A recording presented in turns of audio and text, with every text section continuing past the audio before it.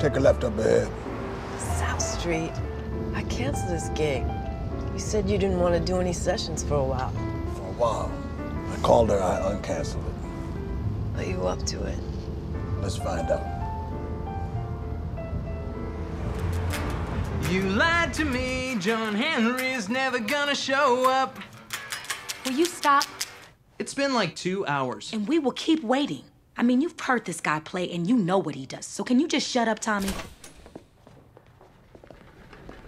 Oh my God. Am I late?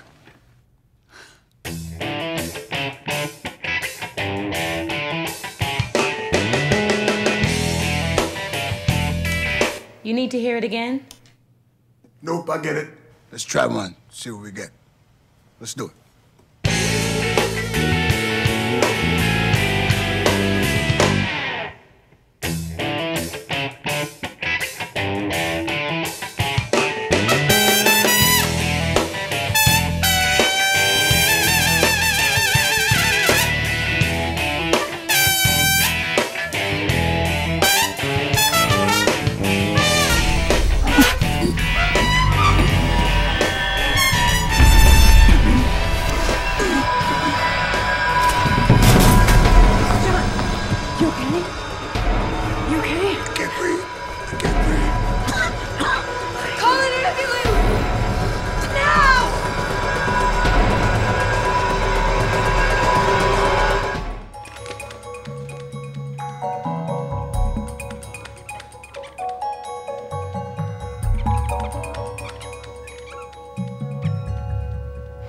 So, what are his sats? Staying in the 90s on the nasal cannula. Coughing up much sputum? Almost none. He seems to be stabilized. Dr. House, is anything back from micro? Not yet.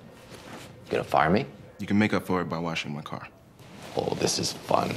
Okay, let's keep him on the broad spectrum antibiotics. And since he's displaying septic physiology, draw blood for adrenal and thyroid function. About the paralysis. We're sticking to the pneumonia. Well, you certainly are, boss. Like a wet tongue sticks to dry ice. The paralysis has already been diagnosed by Dr. Hamilton. It's ALS. Lou Gehrig's disease. It's a lovely diagnosis. They make movies about it. No tests, no treatment. It's a disease of exclusion. Because Hamilton has excluded everything else. I haven't.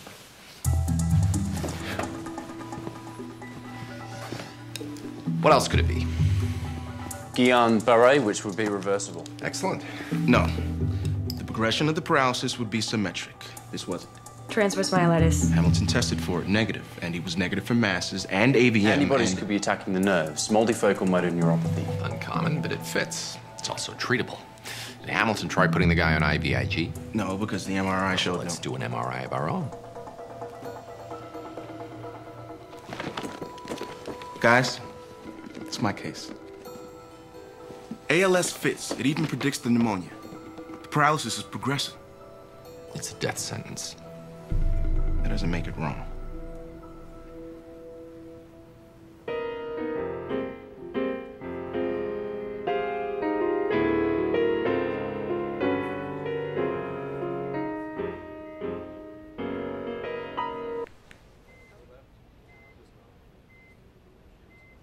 So you think the breathing stuff is connected to my ALS? It makes sense. So it's just gonna get worse, huh? Well, Dr. Hamilton, Great guy. Really smart doctor. And his treatment obviously isn't working. Do you think I'm gonna die here? You think I get to go back home first? an MRI would give us a better idea. MR, come on. For pneumonia? Well, Dr. House thinks we should test for House? others. Yeah, I heard about him. Obsessive some bitch? That's him. So who do you think is right, Hamilton or House? Hey, they're both excellent physicians. Come on. One of them says ALS, the other one says not ALS. You gotta pick one, son. Everything points to ALS. The no MRI.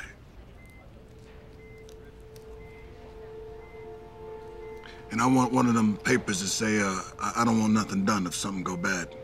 A DNR? Mr. Giles, you don't want to rush into... It's been two years. I ain't rushing. I want to sign one. Now. While well, my arm still works.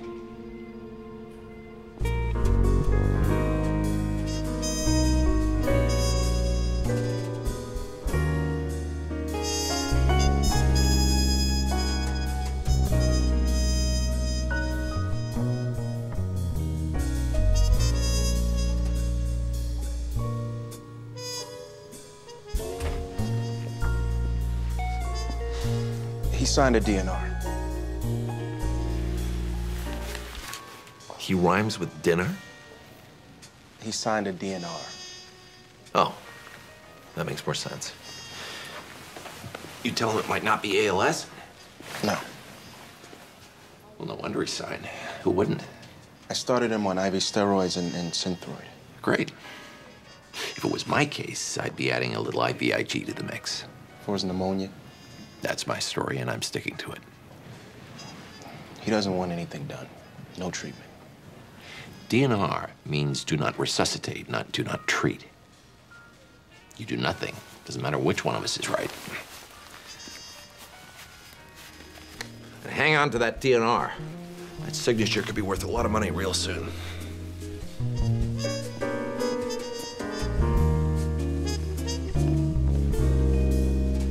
Dr. Foreman. What's Mr. Giles' status? Okay, increase the steroids to 100 milligrams every 12 hours. And, uh, start him on IVIG. Yeah, yeah, I'm sure. One gram per cube.